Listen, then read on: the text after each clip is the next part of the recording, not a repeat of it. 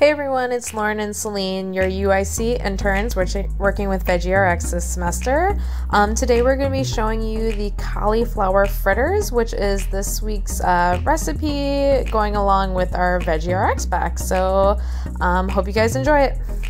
For this recipe, you will need one large head of cauliflower, one half cup of flour of choice, two eggs, two garlic cloves, three tablespoons of minced scallions, but we're gonna be using red onions today, which are in your this week's box, as well as some olive oil for cooking.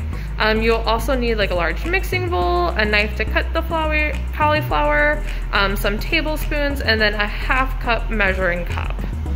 So an easy way to um, stabilize your cutting board is by placing some damp paper towels at your workstation this way, um, your cutting board won't be slipping around as you chop up your vegetables.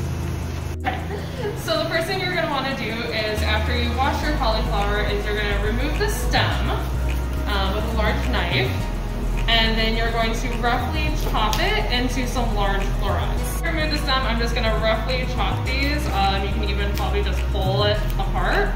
Um, it doesn't really matter right now the size because we're gonna boil them.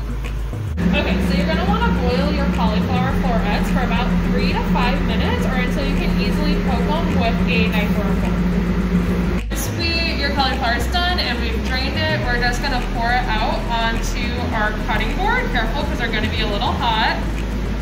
And then basically we wanna chop these up pretty finely into like pea size or smaller than pea.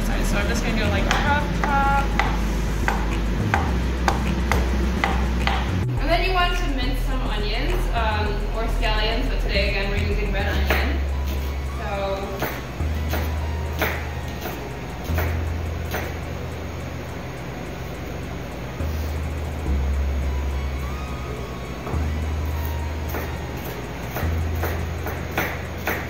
Next we're going to also mince up a couple of garlic easy way to peel garlic is to smash it with your knife.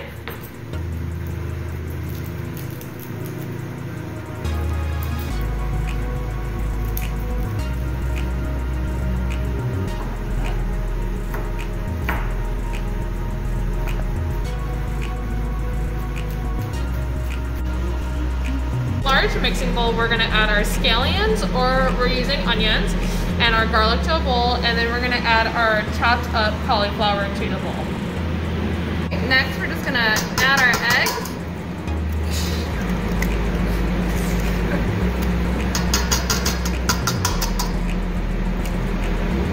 And a half cup of flour to the mixture. And mix everything together. Everything looks like mixed together and then you can kind of add your own seasoning. The recipe just kind of calls for like salt and pepper. Um, but we thought we were gonna add some paprika and chili powder to our mix too. So I'm just gonna add that in and mix it up. And then we're gonna take it over to the stove. So I've got some oil heating in this pan here. And then we're gonna take uh, a couple tablespoons of the mixture and just throw it on the pan. We're gonna use our spatula to kind of flatten it out um, into a little fritter. So we'll keep it, we'll keep it on the heat for about um, two to three minutes and then flip it to the other side.